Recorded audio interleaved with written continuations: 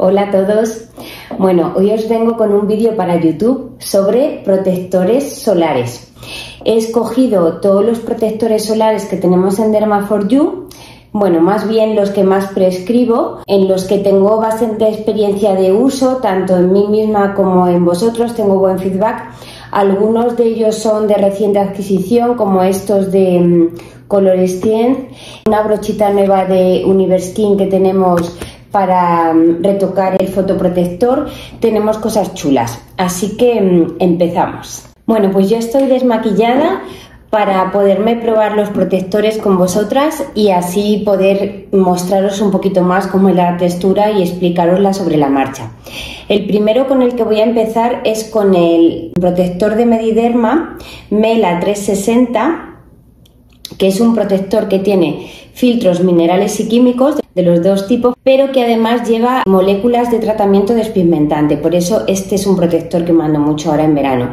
Lleva ácido acelaico, tranexámico, lleva resorcinol y un derivado de la vitamina C. Y además lleva pigmentos luminosos, entonces queda muy bonito. Bueno, ya sabéis que yo no suelo utilizar la regla de los dos dedos, que me resulta más incómoda, sino que utilizo la regla de la cucharilla de té me pongo en la palma de la mano aproximadamente la cantidad que ocuparía una cucharilla de té y me lo voy a aplicar sobre la piel. Como veis de primeras es bastante producto, todavía me queda, con lo cual voy a hacer una primera aplicación del producto extendiéndomelo bien y cuando ya se haya absorbido me hago la siguiente aplicación. Este producto ahora mismo, según me lo estoy aplicando, tiene una textura muy ligera, se extiende súper bien, no tienes que hacer nada de fuerza con la mano, tiene un olor muy agradable, suave pero agradable. Yo soy un poquito maniática con los olores, me gusta que sean suaves, pero me gusta que huelan bien o que no huelan a nada, pero no me gustan los olores intensos. Como veis ya, mi piel está cogiendo luminosidad porque realmente este producto ilumina bastante.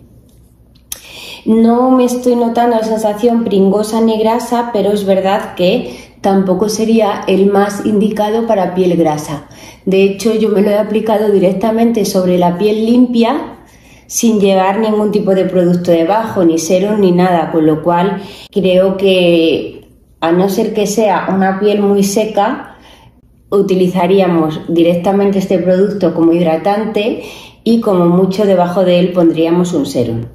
Bueno, pues veis que al final tenemos que insistir en la aplicación para llegar a la cantidad de recomendada y que realmente esté bien protegida con el SPF 50 que lleva el producto, tengo que repetir bastantes pasadas de la aplicación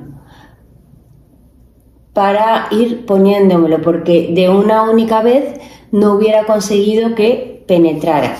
El poquito que me queda ya me lo extiendo finalmente. Y bueno, pues ahora mismo tengo la sensación de hidratación.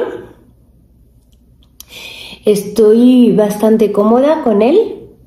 Me veis muchos brillos, Mm, a ver, el producto sí lleva un poquito de grasa, por eso os digo que para piel grasa no, pero no me siento pringosa y es más bien de sus pigmentos iluminadores lo que produce este brillito.